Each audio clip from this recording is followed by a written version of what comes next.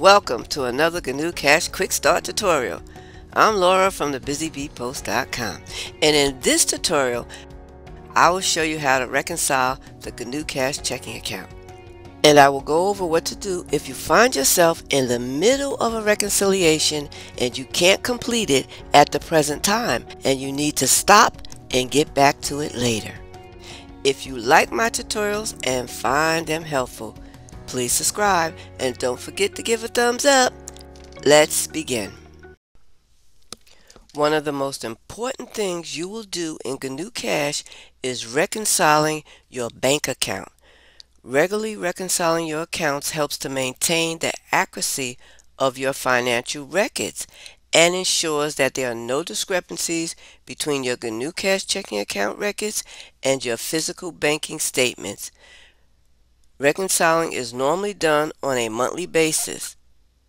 This process helps to ensure that your financial records accurately reflect the transactions in your physical bank account.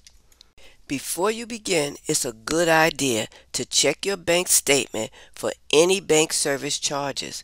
You may have been charged during the month, which is not listed in your GNU Cash checking account, and enter the transactions in the appropriate account before you begin reconciling your accounts. This way you can minimize your chances of having any discrepancies once you start reconciling the account. Don't worry about any interest payments you may have received. You will have the option of entering the interest payments once we start the reconciliation process. Now let's begin. Inside the checking account in the reconcile column, it has a N meaning these transactions are new and have not been reconciled. Here you'll also notice I have two months of unreconciled records, which I left like that for this particular example. On the bottom of the screen, you can see information on the status of the account. Here it tells me the amount in the account and that nothing has cleared or been reconciled. To begin, Make sure you have the GNU Cash bank account you want to reconcile to your bank statement selected and highlighted. In this example, I have my checking account highlighted. To begin reconciling the bank account, select the Actions menu on the toolbar, and when the menu opens, select Reconcile. When the dialog box opens, enter the statement end date of the statement period from your checking account bank statement. For example, I'm reconciling a bank statement which lists transactions starting on September 1 and ending on September 30th. In the date field, I will change the date to the ending date of the statement, which is September 30th. The starting balance cannot be edited, but it should reflect the balance from the previous reconciliation. And it should match the starting balance in your statement if everything was entered correctly previously. Now, sometimes the starting balance in GNU Cash doesn't match the amount on your statement, and this can happen the first time you reconcile your account or when a previously reconciled transaction is dereconciled or deleted. The first time you reconcile your account, the starting balance will be zero. When you reconcile the account, the opening balance for the account will be included in the reconciliation and the result should balance. The ending balance is the total amount I should have had in my checking account at the end of September. Here I will select the checkbox to include the subaccounts. And if you received any interest payments from your checking account as listed on your banking statement, select the Interest Payment tab. And when the window opens, in the Amount field, enter the amount. Here I will enter $1. The information you fill in here is the same data that will be posted to the checking account register automatically.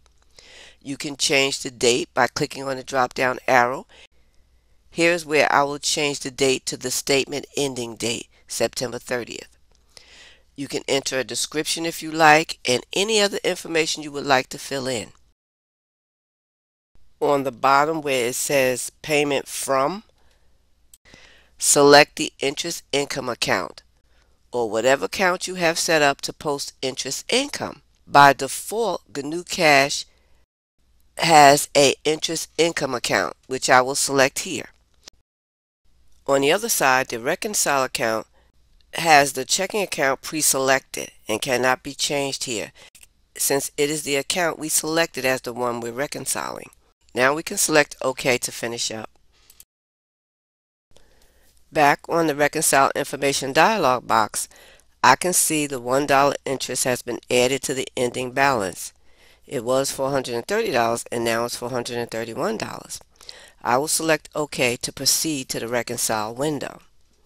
Here on the Reconcile screen, you have Funds In, which are your deposits, and Funds Out, which are your withdrawals. On the bottom, you can see I have an ending balance of $431 and nothing has been reconciled, so therefore the difference is also displaying $431. Begin reconciling the account by selecting the transactions that appear on your bank statement by clicking on the check boxes next to each transaction. Here I see the $1 interest I added and the other transactions for the month of September. Once you're finished marking off all the transactions as shown on your bank statement, the difference amount on the bottom should be zero, as shown here, meaning there is no difference between what is on your bank statement and what you have listed in your GNU Cash checking account.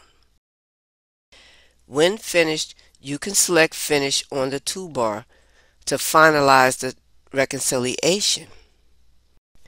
Now, back inside your checking account, you should see a Y for each transaction that has been reconciled. And the status on the bottom will also be updated.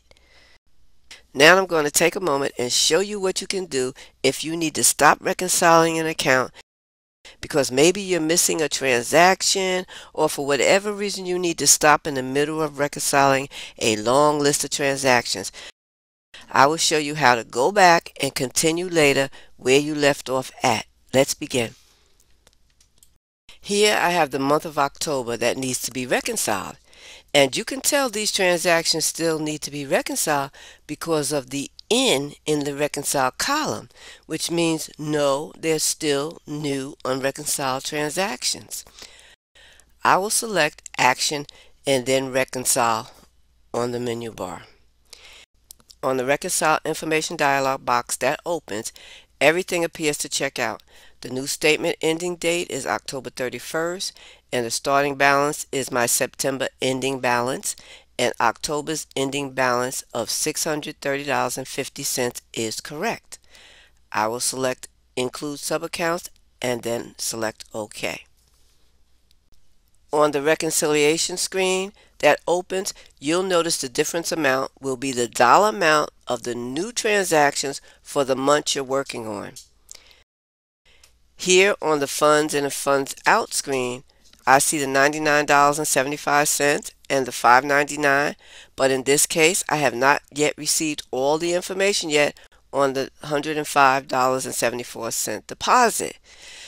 Now, what you can do if you need to continue later is to select the postpone button on the toolbar.